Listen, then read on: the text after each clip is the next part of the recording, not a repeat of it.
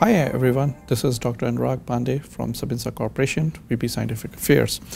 And today I will be talking to you about one of our brand product called curcumin C3 complex, its genesis, its research, and how this ingredient shaped the future of curcumin in this industry. When it comes to curcumin or turmeric, for example, for an average consumer, it is the yellow colored spice or the flavoring agent. But over the last couple of years, it has found a lot of interest in its health benefits. In fact, the folklore and traditional knowledge has been well documented, its health applications. And uh, today, it has been one of the uh, hot favorite in the uh, dietary supplement industry. But for curcumin, it has been a long journey since uh, its traditional use to one of the most clinically researched product in the uh, industry today.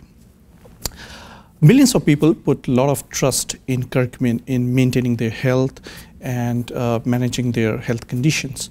Uh, years of research into its chemistry, into its unique mechanism of action, uh, several clinicals around the globe form the basis of this trust. And for last 20 years, Sabinsa Corporation has been preserving and defending this trust for millions of its consumer for curcumin C3 complex. In fact, it will not be wrong to say that today curcumin C3 complex has become like again synonym with curcumin itself. But start of uh, any uh, movement is never an easy task. When we first brought uh, curcumin C3 complex in the market, we found that there was no concept of standardization and truly said, uh, in Ayurveda, in, in traditional knowledge system, there was no uh, uh, system of standardization at all. So two extracts would have two different level of ingredients or you know active constituents and two level, different level of activity altogether. So at that point of time, Sabinsa started working with USP to generate what is now called as curcumin monograph.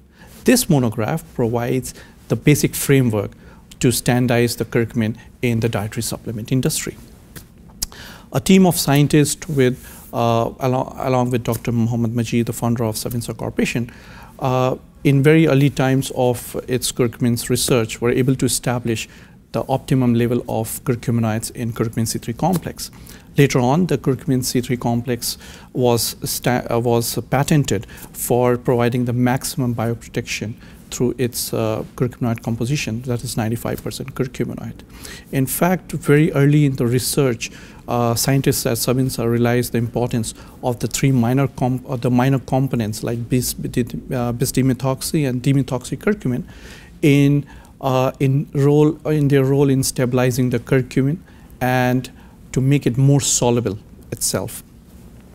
When we first launched curcumin C3 complex, at that point of time, the curcumin had a, strong uh, image of an antioxidant. In fact, uh, curcumin C3 complex itself had a very strong radical scavenging activity. But in the years to come, a uh, lot of research was done, clinical and functional research, on a uh, lot of other, uh, you know, which explored a lot of other activities than just the uh, curcumin's antioxidant activity.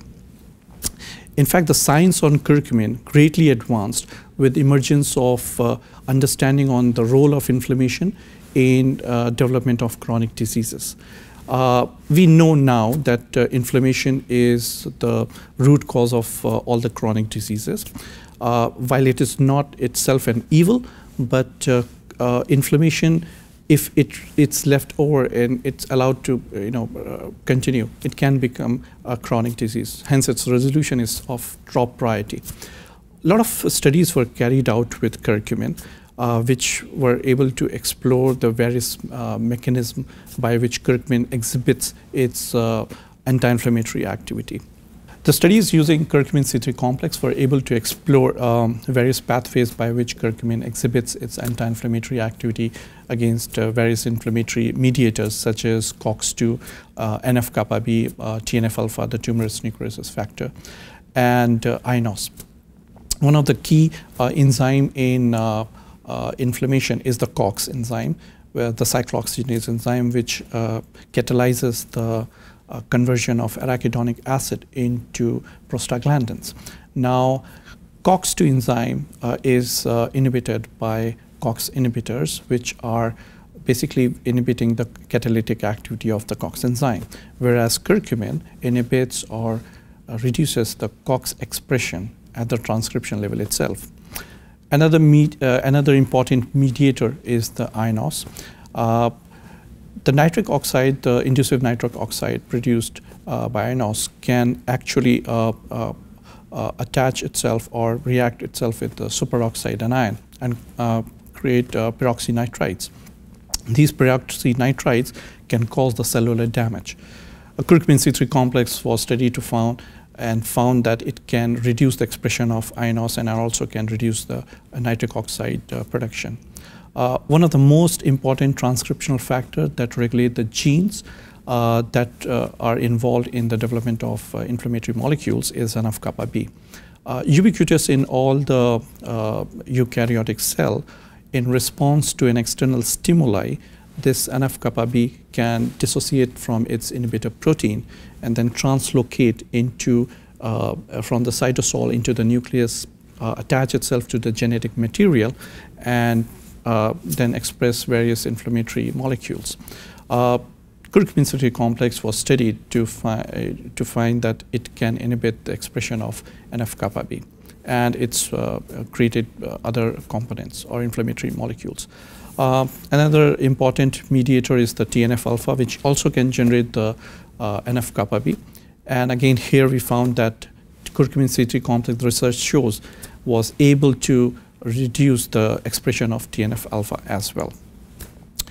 Now, several of these key studies uh, were done on curcumin C3 complex, which paved the way for human, uh, future human clinical trials. Today, uh, curcumin C3 complex has a rich library of uh, clinical studies and scientific studies.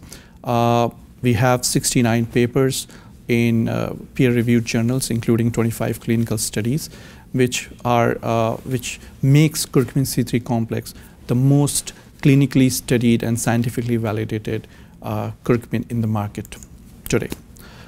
Before I uh, uh, talk more on the clinical studies, uh, I'd like to mention here that curcumin C3 complex is, uh, is a dietary ingredient and is not intended to diagnose, treat, cure, or prevent any disease.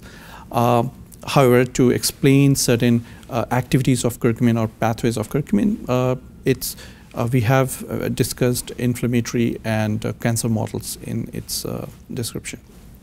Unlike the selective uh, COX-2 uh, inhibitors, which, uh, cat which catalytically inhibit the COX-2 expression, curcumin, on the other hand, is able to inhibit the COX-2 expression at the transcription level itself. In one of the key studies, uh, which was presented in American Association of Cancer Research, uh, curcumin's pain relieving activity was uh, discussed. In 2005, Dr. Garcea and his team were able to find a pharmacologically active level of curcuminoid in the human uh, colorectal tissue while doing a clinical study using curcumin C3 complex. And, while, and while doing this, he also measured the lowering of uh, COX2 uh, enzyme. In other studies uh, done with curcumin C3 complex, we also found that uh, curcumin C3 complex can reduce the or uh, can suppress the uh, progression of human cancer cell lines uh, by reducing the NF-kappa B expression and also reducing the NF-kappa B regulated gene products. In a very interesting uh, study on synergy of curcumin's anti-inflammatory action and its uh, application in the field of temporary or occasional joint uh, pain management was studied in a formulation which was glucosamine free and in a bilayer formulation called Nilitis. Uh, the results which were uh, which came out of the study showed in the very short duration there was improvement in most of the indices of uh, arthritis like WOMAC and VAS scales which uh, which showed that curcumin's anti-inflammatory activity can be very useful in management of occasional joint pain. An area which has generated a lot of interest uh, uh, in recent times is the benefits of curcumin in Alzheimer's disease And in this respect, in one of the first studies which was uh, done on Alzheimer uh, uh, uh disease uh, subjects was done on curcumin C3 complex.